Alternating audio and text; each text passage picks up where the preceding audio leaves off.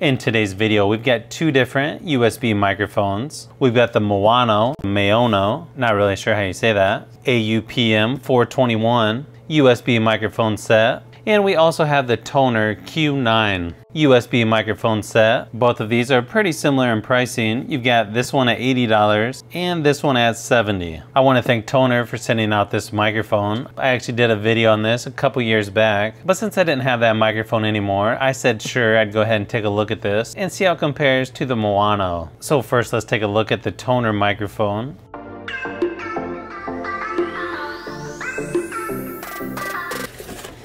So comes with a quick start guide, pop filter. It also comes with a foam windscreen, shock mount, USB cable, adjustable desk clamp, and it's also got a spring-loaded boom arm.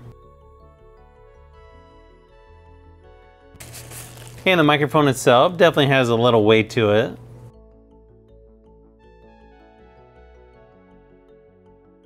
The only controls you have on this one is the volume buttons. So here's everything included with the Tonor Q9. Overall, I think you get a decent amount for what you're paying. Keep in mind both of these are considered entry-level USB microphones.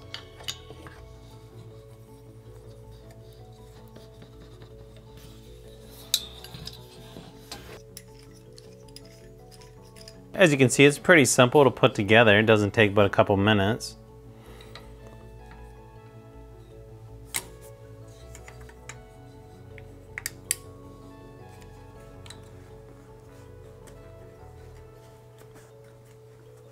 Okay, not too bad. Nice thing is you can just slip on the windscreen or you can use the pop filter if you want. Pop filter it does seem a little bit loose for some reason.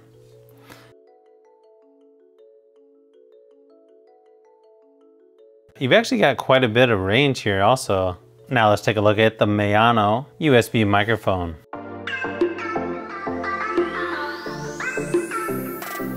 These guys definitely have a little bit better packaging and gives you a lot more information without even having to open it up. I should have mentioned earlier, both of these microphones are considered a cardioid polar pattern. So you've got the user manual, very similar windscreen, not quite as thick as the Tonor one. Pop filter, same USB connection as the Tonor microphone. Pretty similar shock mount, just slightly different desk clamp. This one has a Velcro wire strap. The boom arm that comes with this one looks almost identical to the other one.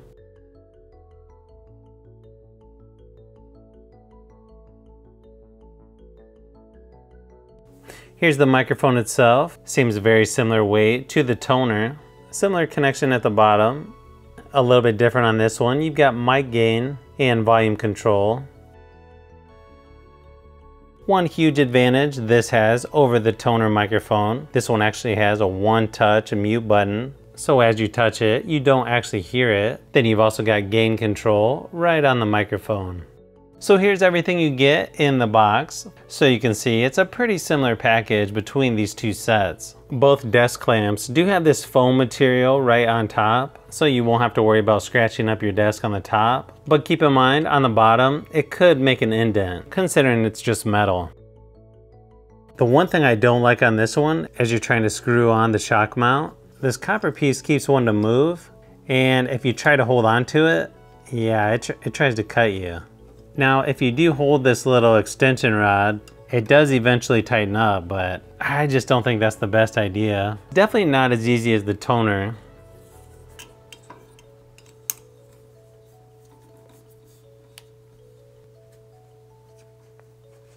Okay, that seems to fit pretty good.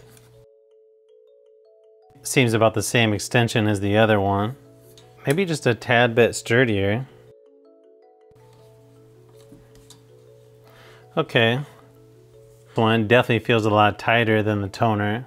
So as far as build quality goes, I think both of these are pretty decent for what you're paying. Let me show you a quick size comparisons of the microphones. Now putting these next to each other, size-wise, they're almost identical. just a little bit different design. I think I've got to give the slight nod to Maono, just because the extra controls right on the microphone. Now for the mic test, you're definitely going to want to use headphones to hear all the details so you can hear both of these microphones a little bit better. Now let's go ahead and get started.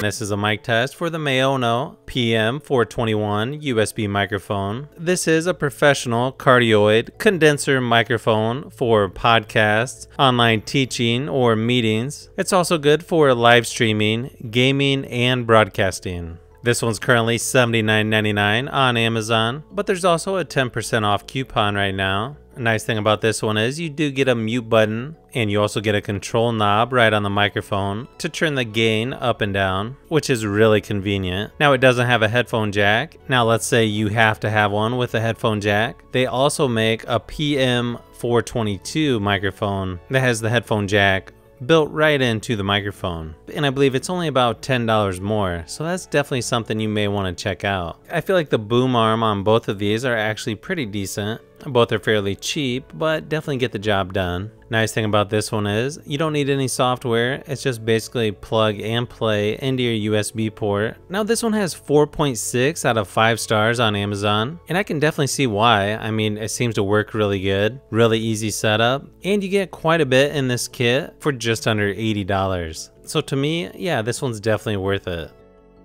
This is a mic test for the Tonor Q9 USB microphone. One thing I notice about this microphone, it's not quite as easy to control the gain on this one. I just think it's way easier on the Maono. Now this one's also a cardioid mic for podcasts, gaming, YouTube, streaming, recording music, and voiceovers. Now this microphone's only a 16-bit, where the Maono is a 24-bit. I think you get a similar value for this one. As far as everything that is included in this kit, you pretty much get all the same stuff as the Maono. Let me know in the comments below which of these two microphones you think sounds better. If I had to choose between these two microphones, I think I would have to go with the Maono 421, mainly because it's easier to control. It has a mute button right on the microphone. So yeah, it just seems like you get a little bit better quality with the Maono PM421 USB microphone. So if you've made it this far into the video, you may want to say thanks by subscribing and don't forget to give a thumbs up if this video was helpful. This is Brian from Fishbee Productions. Thanks for watching and I'll see you on the next one.